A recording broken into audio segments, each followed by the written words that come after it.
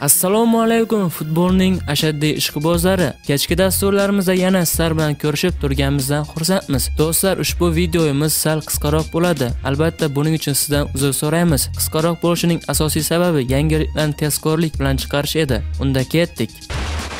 Kuniga 2000-3000 rubl ishlashni istaysizmi? Unda kommentariyadagi omad silkasi orqali FUT65 promokodini aktivlashtirib, ro'yxatdan o'tib 6500 rublgacha bonusini qo'lga kiriting. Ro'yxatdan o'tishga tushunmasangiz menga Telegramdan yozing. Telegram manzilim video ostida. Real bosh murabbiy Zinedin Zidan Yevropa Chempionlar Ligasi nimchorak final bosqichi doirasida Manchester Cityga qarshi bo'lib o'tgan o'yin borasida o'z fikrini bildirib o'tdi. Biz 75 daqiqa davomida yaxshi o'ynadik. Mag'lubiyatdan xafamiz, ammo to'qnashuv 180 daqiqa davom etadi. Endi esa qandaydir ijobiy narsa izlab topishimiz kerak. Hisob borasida xursand bo'ladigan hech narsa yo'q. So'nggi daqiqalarni inobatga olmaganda biz yaxshi o'ynadik. Endi esa Manchesterda g'alaba qozonishimiz talab etiladi. Bo'ladi. Mudofaada xatolar bo'ldi, ammo bu futbolning bir qismi. Biz maydonda borimizni berdik. Murakkab o'yinda bizga yana 10 daqiqa konsentratsiya yetishmadi. Buning uchun to'lov to'ladik, deydi Zidan.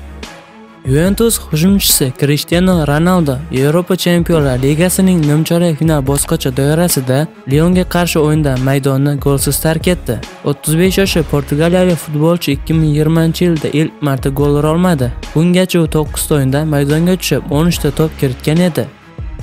Real yarim himoyachisi Vinicius Junior Yevropa Chempionlar Ligasi nimchorak final bosqichida bo'lib o'tgan Manchester Cityga qarshi o'yin borasida o'z fikrini bildirib o'tdi. Biz jismoniy jihatdan charchab qolmadik. Jesus gol urishdan oldin qoidani buzdi. Buni barcha ko'rdi. Hakamlar hamisha bizga bir xil munosabatda bo'lishmoqda. Levantega qarshi o'yinda Ramosga birinchi qoida buzarlikda yo'q sariq kartochka berildi. Bu normal holat emas. Hakamlik yomon bo'ldi demoqchimisiz? Ha, axir biz barchadan ko'proq Yevropa Chempionlar Ligasi va La Ligada g'olib chiqqanmiz. Shuning uchun bizga qarshi shunday hakamlik qilishmoqda. Oldinda klassiko kutib turibdi. Bu mag'lubiyat bizga ta'sir ko'rsatmaydi. Biz ajoyib mavsumni o'tkazyapmiz va yakshanba kuni bo'ladigan o'yinga jiddiy tayyorgarlik ko'ramiz.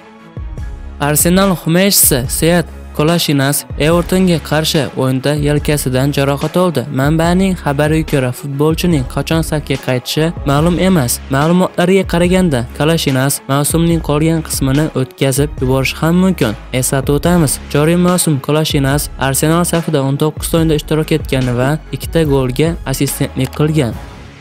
Real himoyachisi Serxio Ramos Yevropa Chempionlar Ligasi nimchorak final bosqichi doirasida Manchester Cityga qarshi bo'lib o'tgan o'yindan so'ng o'z fikrini bildirib o'tdi. 33 yoshli futbolchi Jesusga nisbatan ishlatgan qoidabuzarligi uchun maydondan chetlatildi. Kechagi og'ir o'yindan keyin ikkita variantni ko'ryapman. Kechagi mag'lubiyat haqida o'ylash yoki keyingi g'alaba uchun intilish. Men ikkinchisini tanlayman. Qalban va ruhan klassikodamiz, deydi Ramos. Real Barselona o'yini 1-mart kuni Toshkent vaqti bilan tungi soat 1:00 da boshlanadi.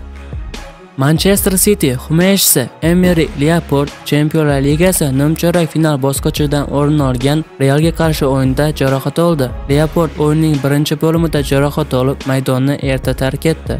Futbolchining o'rniga Fernandinho maydonga tushirildi. Hozircha Himoyachining jarohati bo'yicha rasmiy ma'lumotlar yo'q. Eslatib o'tamiz, Manchester City mazkur bahsda 2-1 hisobida g'alaba qozondi. Videoyimiz sizga yoqsa albatta videoga like bosing va albatta kanalga obuna bo'lish ham esdan chiqmasin. Eng so'nggi tezkor futbol yangiliklari faqat bizda. Xayr, salomat bo'ling. Keyingi video roliklarda ko'rishguncha